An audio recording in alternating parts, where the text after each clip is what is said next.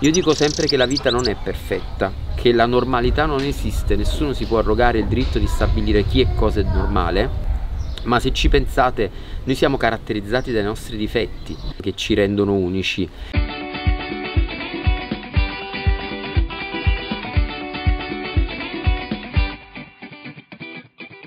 Sono Luca Trapanese, napoletano, 44 anni, mi occupo di disabilità da quando avevo 14 anni.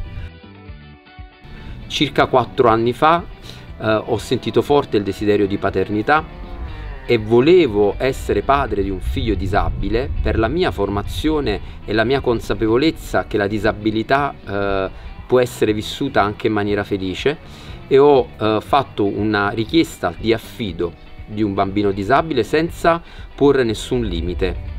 Il tribunale mi ha eh, voluto conoscere per eh, darmi la possibilità di prendere in affido Alba, una bambina eh, che è stata partorita in ospedale, lasciata in ospedale dalla madre e che per la sua sindrome di Down non riusciva ad essere collocata tra le coppie tradizionali che avevano fatto richiesta di adozione.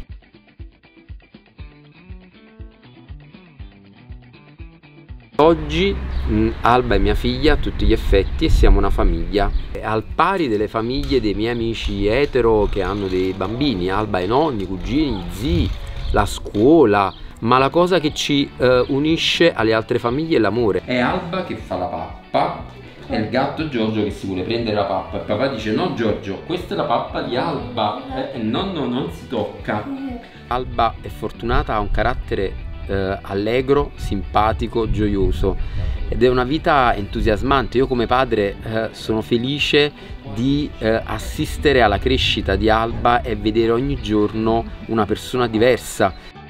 Allora, stiamo vedendo un film, è vero? Stiamo vedendo Coco. Adesso Alba e i film si vedono seduti, fermi, in silenzio. In silenzio. Il primo incontro con Alba è stato quando uh, i giudici mi hanno dato l'autorizzazione ad andarla a prendere, quindi l'ho conosciuta direttamente in ospedale e, ed è stato sicuramente come uh, quando ti nasce un figlio e quindi lo hai tra le braccia per la prima volta. Non mi ha mai preoccupata la disabilità di Alba, Uh, perché sono consapevole, perché nella mia vita ci sono tante persone con la sindrome di Down ed ero preparato.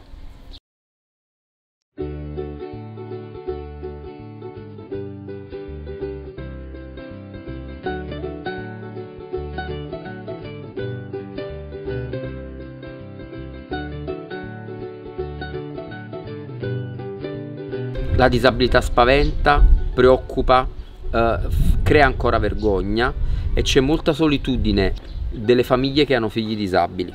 Penso che i nodi alba sono i nodi di una società e quindi quel, quelle persone, quelle coppie che non l'hanno voluta non vanno giudicate. Bisogna farsi la domanda del perché.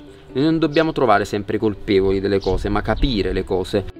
Ci sono una serie di problemi oggi, le famiglie sono più fragili, le coppie sono pochissime, l'adozione è vista ancora come l'ultima spiaggia dove arrivare quando non riesci ad avere de dei tuoi figli mentre tanti sono i single che potrebbero essere pronti ad adottare. Io sono stato valutato per la mia rete familiare, la mia capacità genitoriale, la consapevolezza di diventare padre.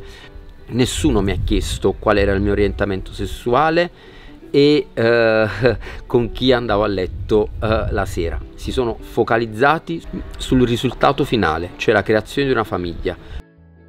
Noi in questo momento viviamo in un paesino di 2000 abitanti da quando c'è la pandemia e potremmo dire forse un paesino all'antica, invece io e Alba siamo amati e siamo integrati in questa comunità in una maniera eccezionale. Io credo appunto che la società già è avanti, ma ha bisogno però di essere regolamentata